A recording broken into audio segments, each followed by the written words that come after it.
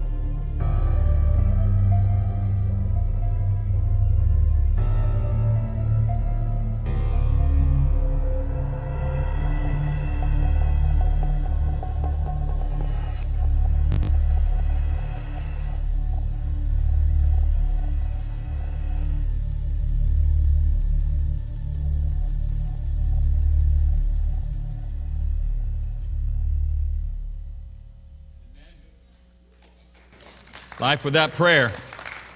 And that's exactly the truth. I mean, so many times we, uh, moving through life and navigating the courses of decisions we have to make every day, and we keep choosing wrong and making bad decisions and bad mistakes, and forget that the way we really supposed to navigate this world is with our eyes open towards God. We'll see things differently.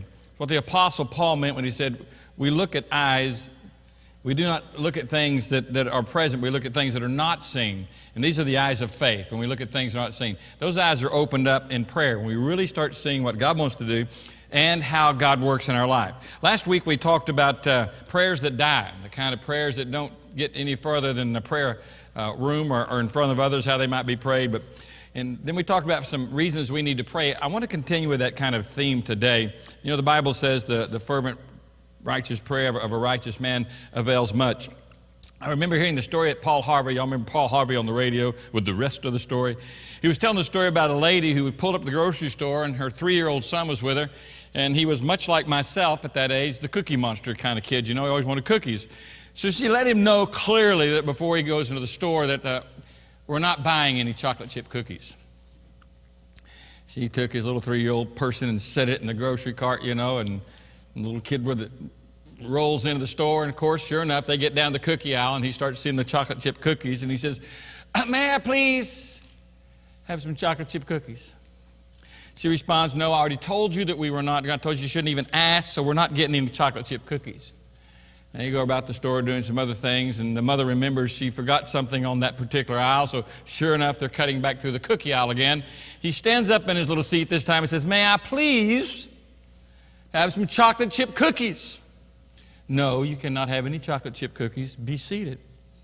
She finishes up her shopping. She's headed for the checkout lines, and apparently, this little mind is thinking, This is my last opportunity. So he stands up again. In the name of Jesus, may I please have some chocolate chip cookies? To which she responds, No, and sets him down. But yes, the rest of the store is completely entertained and applauding and laughing about it. And uh, the rest of the story is he left with 23 boxes of chocolate chip cookies. Which is a good and important lesson to learn.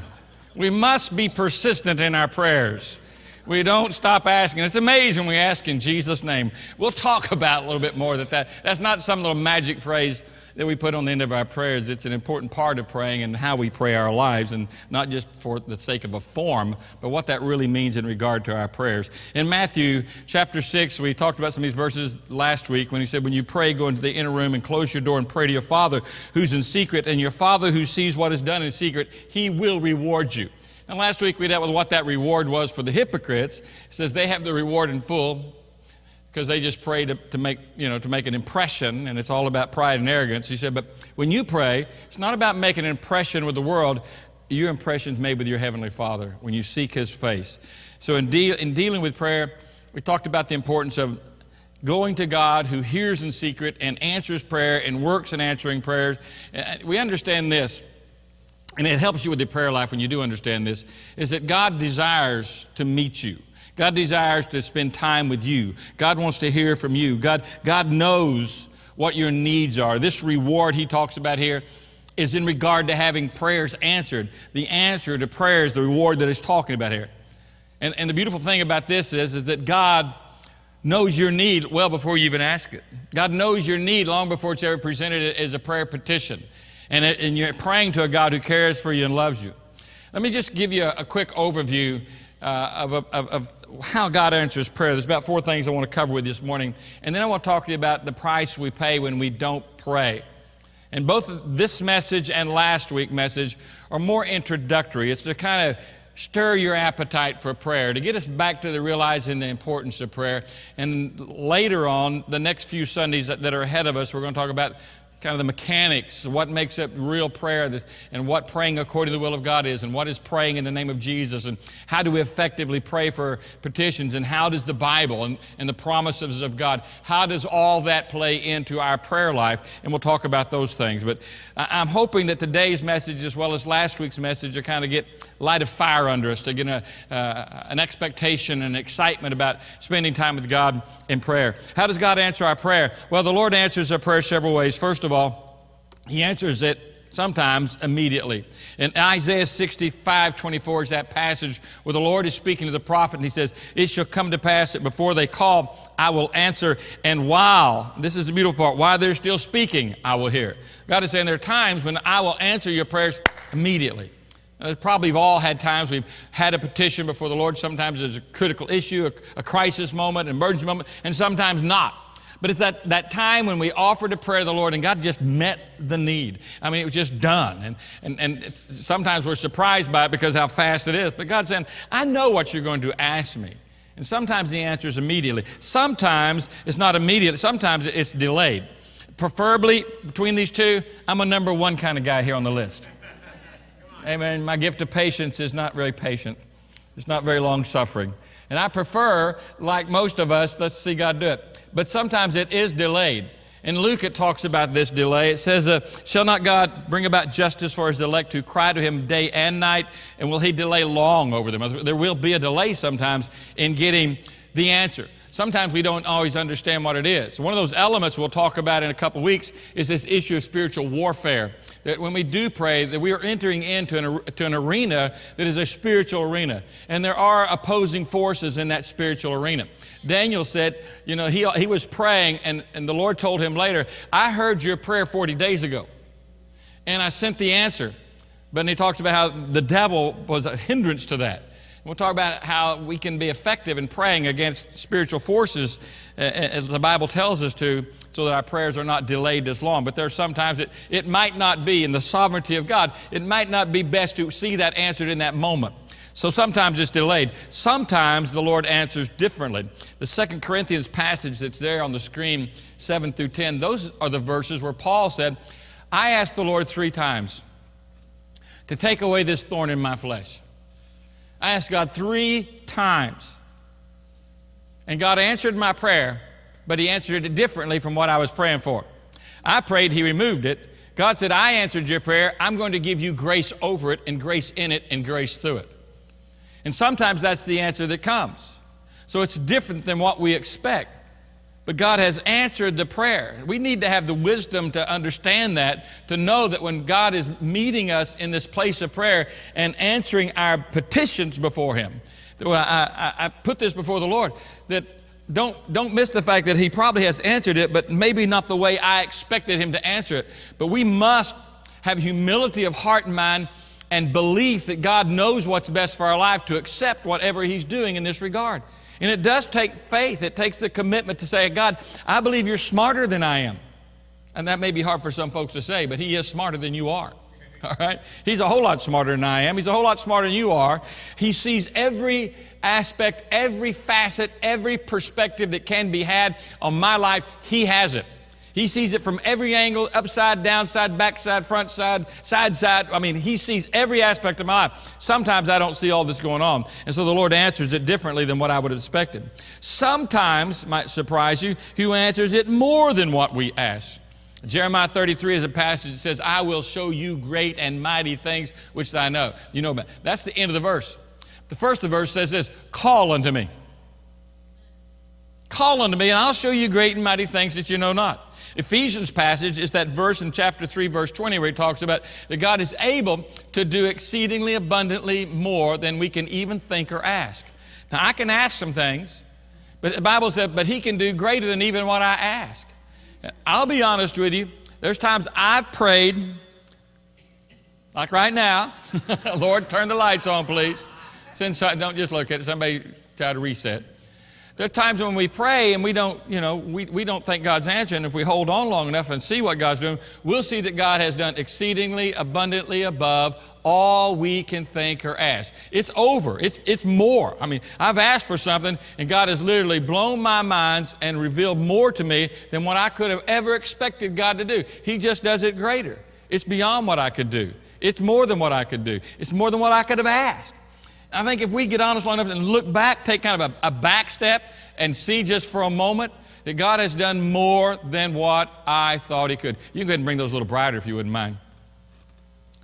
All right, so understand there's, he answers immediately, he answers delayed, he answers differently, and sometimes he answers more. There's this great passage by, in, in a book called Prayer by E.M. Bounds, and I, it was so profound when I read it. I wanted to share that with you because it's just a powerful statement. He says, Prayer is the channel through which all good flows to men. I'm going to say that again in case you missed it. Prayer is the channel which all good flows to men. Prayer is a privilege, a sacred privilege. Prayer is a duty an obligation, most binding and most imperative, which should hold us to it. But prayer is more than a privilege and more than a duty. It is the appointed condition of getting God's aid or His help. It is the avenue through which God supplies man's want. Don't miss that. If you miss this, you miss the importance of what prayer is. If you miss this, you miss the, the, the, the power that's available to you through asking God and, and praying about things. It is the way that God's going to meet your needs. It is the way that God's going to get into your situation by invitation, by participation with Him, by communication with Him. It's important to say, God, I need more than anything else to hear what you're saying to me and for you to be involved in what I'm doing. I, the Bible makes it very clear in, in many places that for us to navigate this Christian life, for us to really live it, it, it takes more than the energy of our personal flesh. It takes more than our personal ingenuity of mind. It takes more than just personal strength to make it happen. We need the grace of God and we need the power of God, but it's not going to happen until we do until we begin to pray. I really feel we don't understand the power of prayer. It is through prayer it is through our communication with our Heavenly Father that things happen in the natural that would not normally happen in the natural realm if we hadn't invited God into it. I believe with all my heart that when I pray, supernatural things begin to happen if I pray and when I pray. Now, all prayer, let me just simplify this even, and this may seem a little too oversimplification, but all prayer has to have two parts. You say, what are the parts? Well, the obvious one is someone to answer the prayer, right? God. And we have a God who doesn't just say, I'm your God, He is our Father. We have an intimate family connection with our Heavenly Father. He is our Father, and He stands ready lovingly willing to give to those who seek his face. He is the God over all things. He is the infinite God. He is the all powerful, all seeing, all knowing God. And that God stands ready to minister to me, to meet my needs. He's in place. He's there. And I believe He desires for me to ask Him. We see that in passage after passage after passage uh, of Scripture that here's God who is a father who wants to meet the needs of his children. Now, the other part, again, may seem like an oversimplification to you, is man to ask and to receive. Two parts God and man. Now, do we not know that? Oh, Brother Joe, we know that. But do we really know it? Because if we really know it, then we'll take on this role of this person, this second part, and be willing to ask God and open our hearts to God and our minds to God so that we can be in a place for God to do something. Your willingness, my willingness to make the time, to take the effort, to make a sacrifice of our time if necessary, to get into a place to speak to God, that is the channel by which God will flow into my life and through my life to the world around me. God's not sitting by to coerce me. God has already graced me. God's already given me His light, His word. The Bible says it gave me His precious promises so I can live the life He's called me to live. So God stands ready. Now He's waiting for me to come and to ask to come and communicate, to come and participate with Him. But it takes Him on one end and me on the other end. Prayer now becomes, if I understand this, prayer becomes God's opportunity to get into the world all around me and to get into the world all around you. But what happens? We don't pray. And because we don't pray, because we don't assume the obvious position that Scripture gives us to be that part, that man, that woman, to ask, to receive, to believe, to trust. If we don't fall into that, if we don't come up to understand that and come to God and pray, then we pray, we pay a price, a tremendous price that we suffer because we don't do this. And the price we pay, well, I think, let me just give you several ways. One, the obvious thing is it costs us in three areas. One, you say, well, who's it cost? It costs others. One thing when I came in this week, and I've encouraged the staff to come in every day during the week, spend a few minutes in here, at least 15 minutes, and, and spend some time at the wall to pray and to pray for your needs. As I've come in here these days, I've discovered there's a lot of needs represented on this wall. And there's, there's some heart wrenching things and some difficult issues and some situations that people are facing that are critical and are hard to deal with.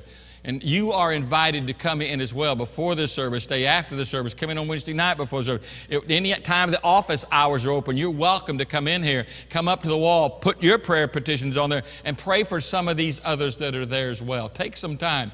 But as you do that, you see that there's a lot of people who need God to move in their life. There's a lot of people who are desperate for, for a work of God and for a move of the Holy Spirit in their situation or their circumstance and in their life or family or on their job. There's just a multitude of needs that are represented there.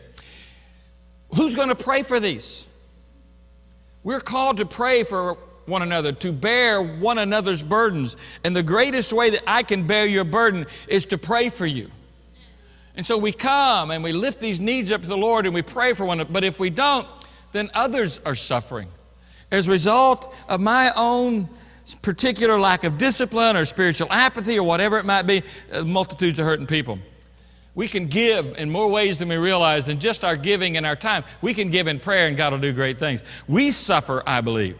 Say, what do you mean? If I'm not spending time with God, I'm missing out on the glory of the relationship. God has planned something unique for all of our lives. We talk about the will of God often, but how are we ever going to discover it if we don't spend time with God? You know? I know men hate to ask for directions, but that shouldn't apply to our prayer life. Amen. We ought to ask for directions there. We ought to spend some time and say, okay, I need to, I need to know which way to turn, Father. I, know which, I, I need to know which way to go in this, in this particular issue of my life, in this particular situation. But if I don't ask, guess what? I miss out on all the glory God has planned for my life. The beautiful, you know, part of the will of God for my life. I, I may enjoy some sprinkling showers of blessing, but I don't think I'm going to enjoy the full blessings that God has for me. And then we, here, here's the terrible part God who has planned things, God who has a, a, a, a desire to be fulfilled so that some lives are going to be changed, and hearts are going to be changed, and homes are going to be changed, and I'm going to be changed. Ultimately, God's plans are thwarted, and I become that guilty party. Ultimately, by my by my sin of omission, just not doing what I'm supposed to do, I become the guilty party of not seeing God's plans put in place on the earth. It's God's will being done, done through us. Jesus, when he taught on prayer, he said, Pray like this It's our, thy, thy, kingdom come, thy will be done on earth as it is in heaven. What is Jesus telling us with that model prayer? We seek God's face so that his will will be carried out, so his kingdom will be established, so God's, what God wants to do in the earth will be done. And it happens here to start with more than anywhere else. So there's a price that we pay. And it really gets down, it's the price of rebellion.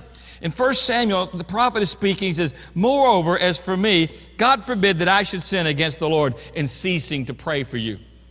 God forbid that I wouldn't pray for you. In other words, he puts it in this place here that if I am not praying for you, then, then it's rebellion. Because even as we shared last week, it's on video if you want to watch it again. we talked about the command and the call that God has given to us to pray, the expectation that God has that we pray, that we do seek His face, that we do call on Him.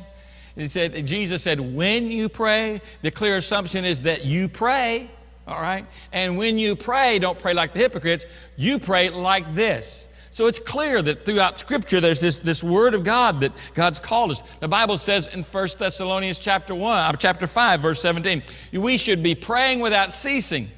In other words, we don't give up on prayer. Does it mean we pray all the, I believe it means we're always praying in reality. We're always staying in communication while I'm driving, I'm talking to God. When I have decisions, I'm talking to God. Sometimes when I'm talking on the phone to you, I'm talking to God. What do I tell him, Lord? Whether you know what I need to say here, how do I need to respond? And I'm talking to God. So that pretty much is, means we're exposing everything ultimately to the Lord. But hey, if we're not doing that, if we're not turning things, if we're not seeking His will over these things, then it is a price we're going to pay of rebellion. And I, will let you know from experience God doesn't pour out His greatest blessings on rebellious hearts. God doesn't pour it out on those hearts that are going to rebel against Him. Jeremiah 33 3, when He says, Call unto me and I will show you great and mighty things. That is a call to prayer. And it's not, it's not a suggestion. When if you look that up in the Hebrew, when that word verb is, it means that God, there's this expectation that God has upon you that you're calling. You don't, you know, you, you don't sit back and just ignore what the call is. You answer that call, you respond. And to not answer it, it's a refusal. I mean, it comes down to this it's a refusal of the promises of God. In, first, and second Peter chapter 1, verses 2 and 3, the Bible tells us very clearly that God has given us great, exceeding, precious promises. And that by these promises, you might be made partakers of the divine nature. What does that mean? That means that you can experience God in your life. How do you do it? Through the promises of God. But how, does how does that work? I take these promises of God and I present them to God and I stand on them and I believe them and I trust what God has said to me. I look to Him. What am I doing in prayer? I'm claiming God's promises so that I won't be deficient and I won't be paying the price of rebellion. So ultimately, if I'm not, then I'm just, I'm thwarting the promises of God. I'm obviously rebelling against what Jesus taught and what he modeled and what he lived through his life on prayer. And it's also a violation of the, the whole spirit of Scripture. Scripture is given to us as a covenant, as a book of promise. And it to be, it's to be participated in. It's to be trusted. is to be voiced to God. is to be surrendered to God. So there's this price of rebellion. And then I also pray, pay, excuse me, I should pray, the, the price of deficiency. I love this passage in James. He makes it pretty clear in James 4. We have not because we ask not. I couldn't get any simpler than that, right? You have not because you ask not. Now, if you look at the context of that passage, he's talking about prayer, but he's talking about communication in the context. He's talking about people that don't get along and they're arguing instead. He said, You want this and you don't get it, and so you, you argue, you fight, you quarrel with one another. He said, the reason you don't get what, you, what, what your, your desires are is because you don't take it to God. You don't, God doesn't answer you because you don't ask. You have not because you ask not. He said, instead of that, you'd rather fight and quarrel about it. Here's the, here's the healing solution to every family argument or every relationship argument you may be experiencing in your life. Pray about it. Quit fighting about it. Take the hand of your partner and say, let's pray about this. You want your way, I want my way. Let's see what God's way is. Hello. That takes humility, doesn't it? That takes a surrendered heart. That takes a heart that says, I really want God's will over my will. And that's hard to come to. But when we come to that, God said, hey, you won't be, you know, you won't be walking around with deficiencies in your, in your, in your life, so you have not because you ask. In other words, God says, I'm ready to supply. There's that God on the other end again. I'm ready to supply. He is the supply. Well, what if I don't ask? You know, James 1 and it says in verse 5, this is before chapter 4, same book, same letter. James 1 says, If any man lack wisdom, let him ask God, who will give it to you liberally, bountifully, and he won't withhold it. Ask. I need wisdom. I need direction. I need discernment. Ask. But I need wisdom. I need direction. I need discernment. Ask. I think I can figure this out. No, ask. I'm pretty smart guy. You're not that smart. all right? Ask God. And if you ask God, God says, I'll give you that. That's, that's a quick one, all right? That's a, that's a quick answer. I'll give you direction. I'll give you insight. I'll give you wisdom. Revival. We're always saying, oh, Lord, send revival. The church needs revival. The Bible says we can have revival. If my people, those are the ones who, that's the other end of the God man thing.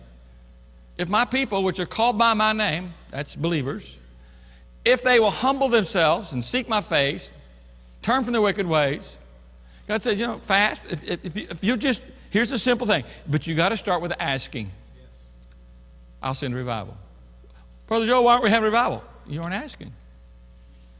And this is the matter of asking with a heart that's right, and asking with pursuit, and asking with passion, asking to the point we're willing to fast, to pray, to see God's face.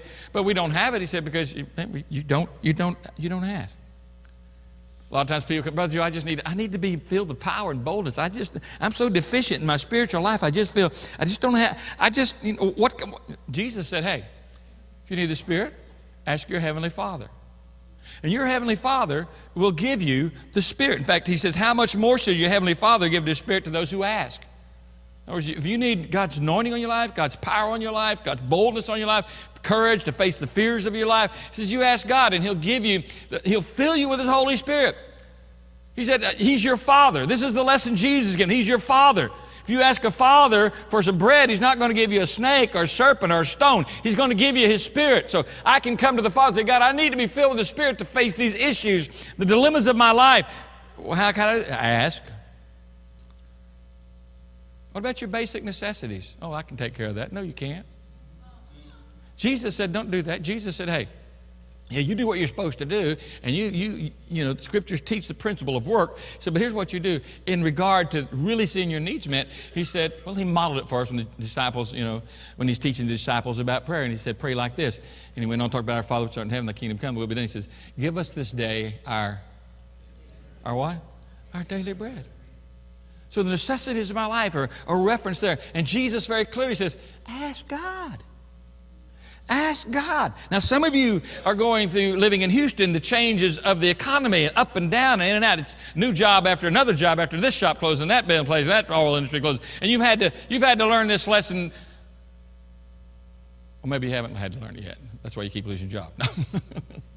but you have to learn this lesson in real life, right? But that's when the Lord teaches it to us in real life. Now, the tragedy is that we'd go through those kind of experiences and not learn the lesson. Are you still with me? You almost are. The price of deficiency. And by the way, that when we talk about temptation, I talk to people about this a lot. They say, Brother Joe, I've just had this temptation. It seems so overwhelming. It seems so struggling. I'm doing something I shouldn't do. Watch something I shouldn't watch. You're going someplace you shouldn't go. What do I do about that? Jesus said, ask. In fact, in James, when he's talking about prayer, about wisdom, you know what he's talking about specifically? He's talking about temptation. And by the way, you'll find it extremely, impossibly difficult to face your temptation and be praying and still fulfill the temptation desire. Because you can't do both things. So, what do I do when I'm tempted? You face God, and you face God with that temptation.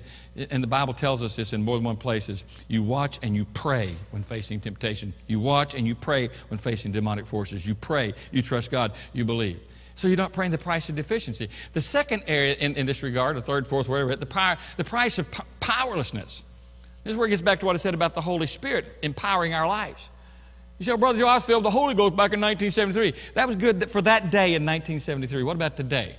When the Bible says be filled with the Spirit, it has to do with a daily process of surrendering our life, committing ourselves to Christ, dying to the old man, lifting up that resurrected life and say, Today I belong to Jesus, and today I need you to empower my life, and today I need you to, to strengthen my life.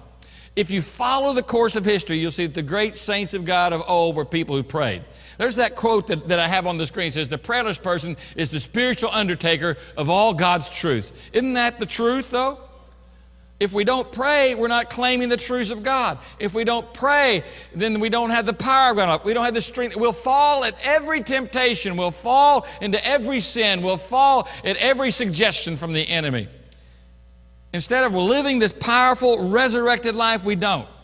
Look at the scriptures. Look at the men of the Old Testament. Look at the Elijahs, you know, and the Daniels and the Shadrachs and the Meshachs and Abednego. And you see how their lives were surrounded, like David, with prayer. And they're powerful because of it. Look in the New Testament at Paul, at Peter, at the, at the times of persecution, when it says that when they were being tremendously persecuted, they got together and they prayed. And God shook the place and gave them boldness and gave them power. You go to the history of the church, whether it's early church fathers or the later church leaders like Luther and Finney and Moody and Tozer and Spurgeon, they were all men of great prayer. They spent time with God. If you read their testimonies, if you read their biographies, they'll tell you, we prayed, we sought God, we trusted the Lord. I, I think it gets down to this right here. It's not that we do not believe in the importance of prayer, we just don't know the priority, the primacy of prayer. We just don't really believe how important it really is. Yeah, we ought to pray, we ought to pray. Bible says all men everywhere lift up holy hands praying. I don't think we see just how really of a necessity it is in our life. This is something we need. I need to pray more than I need a car. I need to pray more than I need a job. I need to pray more than I need a house or I need clothing because that will be the channel by which everything else comes to me, right? The most important thing we can do in the church is pray, the most effective thing that we can do. I read this particular quote and listening to sermons on prayer over the years, and I wrote it down. I, I don't remember where I got it. It's just some notes I'd, I'd scribbled out on prayer. And it said this You can do more than pray after you've prayed. Got that? You can do more than pray after you've prayed. But you can not do more than pray until you prayed. Does that make any sense? In other words, we can't do anything of real power, of eternal value, of lasting influence until we pray. Samuel Chadwick put it this place The one concern of the devil, the one concern of the devil is this to keep Christians from praying. He fears nothing from prayerless studies, prayerless work, and prayerless religion. He laughs at our labors or toils. He mocks at our wisdom, but he trembles when we pray. Trembles when we pray. I remember the Frank Peretti author who put out the series of, of, of novels, you know, fictitious novels on, on prayer and warfare praying, and they were great novels. And, but I, I remember the introduction to the, I think it was the first book called Piercing the Darkness. And I remember in the introduction, these angels are walking by this church. That's the way the author writes it.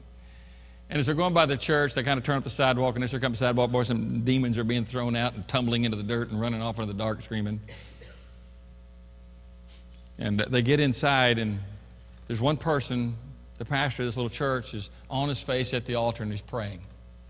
One of the angels said to the other, He doesn't look like much to me. Probably what they say about you and me, huh? He doesn't look like much to me. But the other angel says, Ah, but he prays. That's what impresses heaven. That's what impresses God. Because prayer is faith. Prayer is saying, I believe God is the answer. I believe, I believe God is bigger than the devil. I believe that God is bigger than my situation. I believe that God is bigger than the circumstance. I believe that God's bigger than the problem. You know? Bigger than all of it. When the rich young ruler came to Jesus know how to inherit the kingdom of heaven. The Lord spoke to him and finally dealt with him about his biggest sin of all, which he didn't want to deal with, which is his covetousness and his greed. And it says when he wouldn't sell all and follow Jesus, that he left and walked away sorrowful. Now, in the mind of the Jewish mindset and of the culture and the philosophy of the times was if you're blessed like that young man to be rich and young and a ruler, to have that kind of blessing means that God had blessed him. And God had blessed him in spite of himself. But he abused the blessings of God. So Peter turns to Jesus Well, if he can't be saved, then who can be saved? The red letter edition in red letters puts it this way With man is not possible, but with God, all things are possible. Now, that's the Greek language translated to the English. There's a little preposition, W I T H, with, and in the context of the Greek language, it's a unique preposition not just an ordinary prayer. It's a unique preposition that literally means face to face.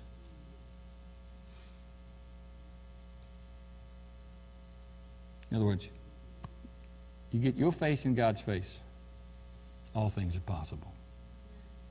All things are possible. See what God does when we get this point. There's that great passage when the disciples are turning to Jesus and Jesus is communicating. It said it happened that while Jesus was praying in a secret place after he'd finished, one of his disciples said to him, Lord, teach us to pray, just as John taught his disciples to pray. Now, this is towards the later part of the ministry of the Lord Jesus. These guys had seen Jesus do some incredible things. They'd seen Jesus do things that were beyond the natural. They, they had been there when the water was turned to wine. They had been there at the Sermon on the Mount and heard the most powerful words of the message and the anointed words of Jesus preached by the Son of God. They'd seen Jesus condemn the self righteous. They had seen Jesus encourage the woman that the Pharisees had brought, and she was caught in adultery, and Jesus had told her, you know, to go and sin no more. They had been there for each of these events. They were on the boat. These these guys asking this question were on the boat when Jesus walked on the water. They were in the boat. They saw that firsthand. These were the guys who heard the words of Jesus when he told the waves and the wind to be still, and it responded. These are the guys who saw Jesus bless a piece of bread and some fish and feed 5,000 people, only a few days later to bless some other few bits of food and feed thousands more again. These are the guys who watched Jesus cast out demons. These are the guys who'd seen Jesus raise the dead. These are the guys who Jesus uh, uh, said, you know, this is my Father's will and carried out in front of them. They saw over and over again. But catch this.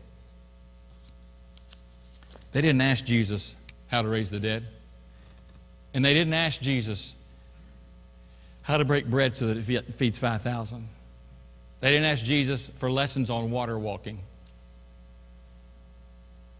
because they saw everything he did was a result of this first thing that he did. Jesus always went and met with the Father. And it's after those events that you see these things happen over and over again. And when he finishes one event, you see him going back to spend time with God. That's why they say, teach us to pray. Teach us to pray. That's why we come back to as a church often and visit this subject and this matter again. You've heard sermons on prayer, you've read books on prayer. But as Paul, as Peter told the church, I want to stir up your minds by way of remembrance. You remember the importance of what's going on here. It's about having the Father's will being done. I want you to pray. I want you to pray. If Jesus taught his disciples to pray, he's still desiring to teach his disciples to pray. His disciples just need to have the same attitude as the originals. Teach us to pray. Give us a heart. We've been coming to the altar this last Sunday, and I'm going to encourage you to do it again. There should still be the prayer bracelets and the prayer sheets and the pens and the little sticky notes that we started with last week to pray. I want to ask those of you who would like today to have a prayer need and a prayer request that you would take it and come to the altar this morning and pin it out on those papers, take it over the wall, stick it on there, and have a word of prayer over it. And others will be following up in like suit to pray over it. Maybe you weren't here last week. We put the wall up. We put the bands out to remind us to be prayer warriors. If you haven't picked up one of these bands and you're not wearing it regularly, get one and start wearing it. I'm gonna, I've asked people to commit to at least seven or eight weeks of this, nine weeks of this, to wear these prayer bands to remind yourself, hey, I need to spend time with God today. It's so easy to get up and run off and just, you know, you say, I don't have time with God. Hey, you got time for a hamburger. You got time for God. You got time for McDonald's. You got time for God. Amen. You got time for NBC, ABC, and all the other C's you got time for God. You need to make time. You need to take time. You invest that time. This is where God moves in your life. This is your avenue. This is your access. So I want to encourage you to do so. In fact, I'd like us to stand together with our heads bowed. This morning, if you do have a prayer need, don't hesitate Come to the altar today.